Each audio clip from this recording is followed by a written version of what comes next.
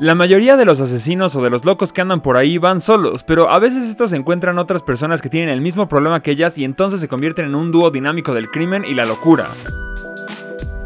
Y a veces esa locura llega a niveles impresionantes donde entre los dos se motivan a cada vez hacer cosas más perversas y hoy te voy a hablar sobre uno de los peores escenarios en los que pasó esto y es sobre una pareja que se comió a 30 personas. Así es, como si fueran caníbales, pero ¿por qué una pareja empezaría y decidiría empezar a comer personas? Bueno, pues obviamente la respuesta va a ser que no veas a esta pareja de la misma manera jamás. Y yo sé que estamos en pleno 2018 y que todo en este mundo es inclusión, así que ¿por qué no vemos bien a las personas que comen carne humana? Obvio es broma, yo sé que es un caso muy extremo todo esto de matar a alguien para comérselo, pero es que, en serio, piénsalo por un momento y date cuenta cómo este tipo de conductas realmente no son tan, tan, tan de ciencia ficción como hasta la fecha mucha gente piensa. O sea, si te das cuenta ya hay personas que donan órganos y personas que donan su cuerpo para la ciencia para ayudar a otras personas, entonces ¿por qué no habrían personas que cuando mueran puedan donar su cuerpo para que otras personas los coman? Al final de cuentas estás ayudando a otras personas. De hecho, si nos vamos a la raíz, tampoco es como que esa conducta esté alejada completamente de algo que nosotros haríamos. Ya sé, neta, ya sé que muchos de ustedes están diciendo, Wefere, ¿qué chingados tienes en la cabeza?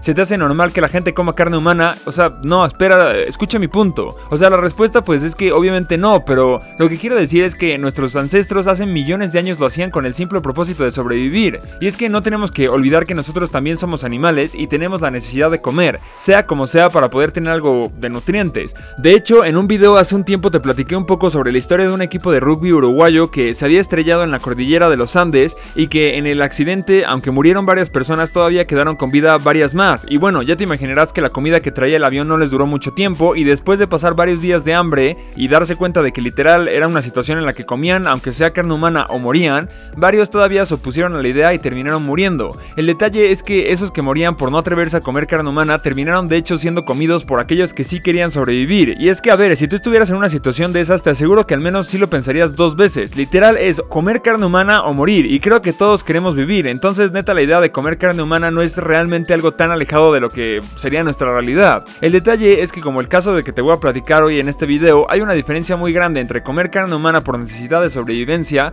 o literal por gusto de matar a alguien para podértelo comer. Bueno, pues para el tema de este video vamos a dirigirnos hacia Rusia, uno de los países más fríos y donde pues más cosas raras pasan en este mundo. Aparte de ser orgullosamente el país donde en lugar de poner en la mesa a la hora de la comida una jarra de agua o un refresco, literalmente allá es una botella de vodka, que la verdad no sé cómo lo disfrutan tanto porque no me imagino comer y tomar alcohol en lugar de algo que me refresque. Pero bueno, el punto es que hace un año, el 26 de septiembre del 2017, la revista Time publicó en primera plana un artículo que decía algo así como suscríbanse a Wefre es lo máximo. Y justo debajo de ese encabezado venía otro artículo no tan importante como el primero que decía, una pareja de rusos probablemente se haya comido a 30 personas según investigaciones. Si de por sí el título no podía ser lo más perturbador de lo que ya es, cuando leías bien el artículo de la revista, esta nota te hablaba de cómo una pareja de rusos estaban siendo acusados de secuestrar, desollar, que es cuando le quitan la piel a un animal, matar y comerse al menos a 30 personas. Y bueno, la verdad es que cuando leí la nota me dio mucha curiosidad de cómo fue que encontraron a esta pareja, que por cierto se llaman Natalia Baksheva y Dimitri Bakshev.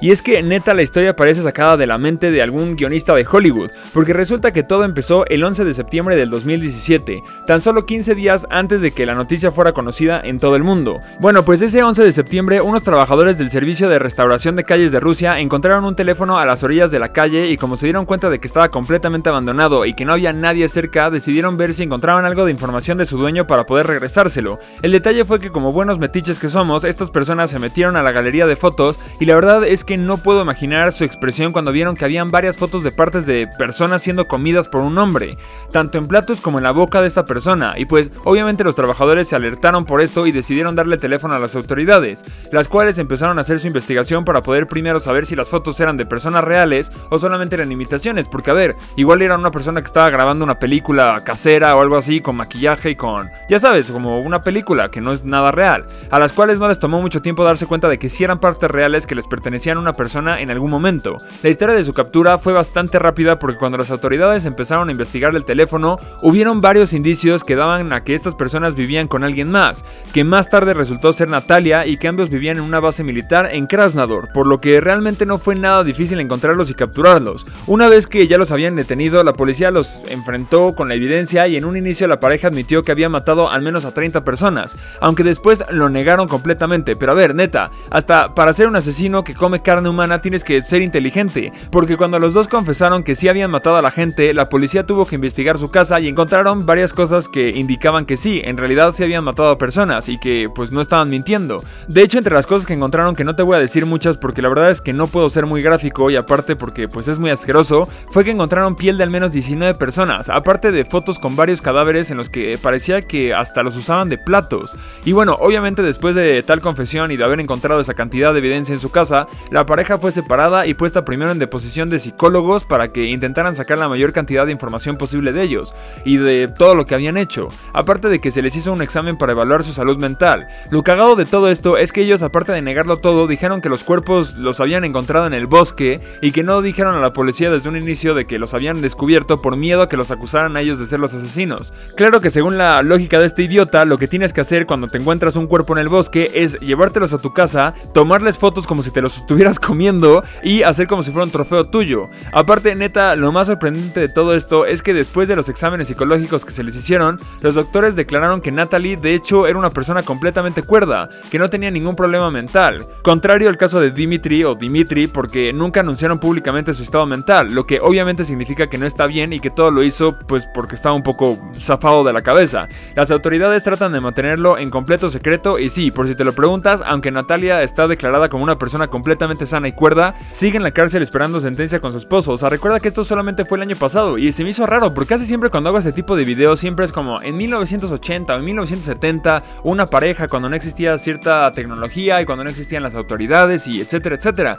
Pero esto pasó el año pasado en el 2017, o sea, está, está cañón. O sea, es algo que debió haber pasado hace cientos de años o hace décadas cuando las autoridades no tenían cierta tecnología o algo así, porque ¿cómo desapareces ahorita 30 personas sin ni siquiera tener el mínimo cuidado de ocultar la evidencia? O sea, cuando las autoridades entraron vieron a todas las pieles ahí colgadas como si fuera una boutique de ropa, o sea, no tiene sentido para mí.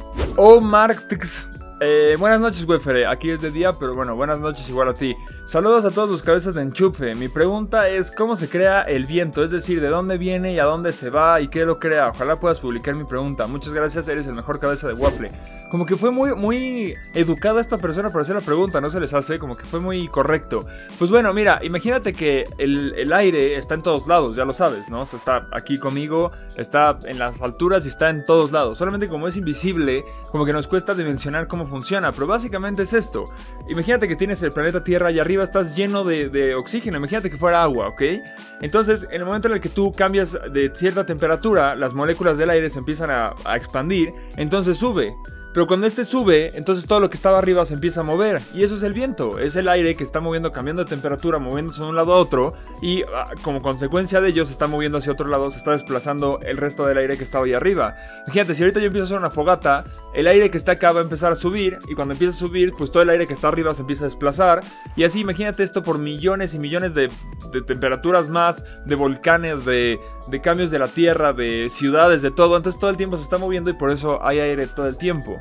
Eh, eso y huracanes. Luego, eh, Ana.Pérez Rey. Pérez Rey. Ja, ja, ja, ja, Me saludas en un video. ¿Cuál es, ¿Cuál es el mayor miedo además del mar? Mi mayor miedo además del mar. El éxito, le tengo miedo al éxito, es cierto.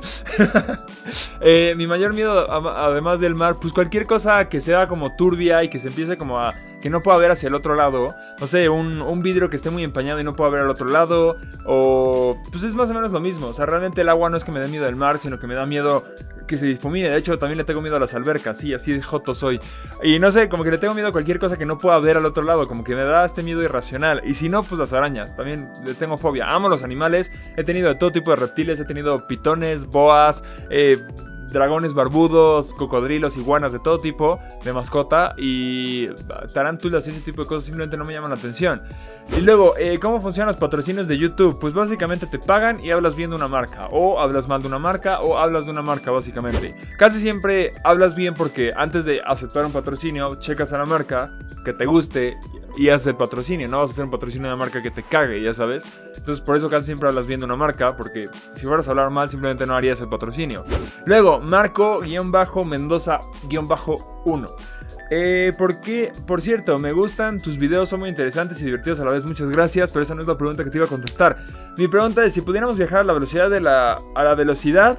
A la velocidad, a la velocidad de la luz, eres tartamudo cuando escribes. ¿Cuánto tardaríamos en dar una vuelta al mundo? Creo que tardaríamos como un octavo de segundo. O sea, creo que sí, o sea, en un segundo la luz le da 8 vueltas a la Tierra.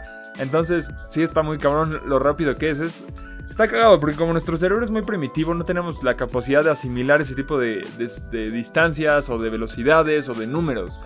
O sea, así como cuando te digo, mira, piensa en dos cosas, es muy evidente para ti cómo se ven dos cosas. Son dos, ya sabes, y ya. O una, pues sabes cómo se ve una. Pero si te digo 15, ya no te lo puedes imaginar, ya tienes que contar, ya tienes que verlo, como que ya no puedes. Entonces, si te digo la velocidad a la que veo la velocidad de la luz, simplemente no puedes asimilar. Estamos muy pendejos, solamente podemos asimilar uno, dos, tres, cuatro cosas, como que todavía más o menos. Entonces, sí, somos muy, muy estúpidos. Eh, suscríbete a mi canal, mándame una pregunta para que la conteste aquí al final de mis videos. Eh, mándame algo a mi, dirección, la, tienes aquí, me puedes mandar lo que quieras. Y nos vemos el próximo video. Bye.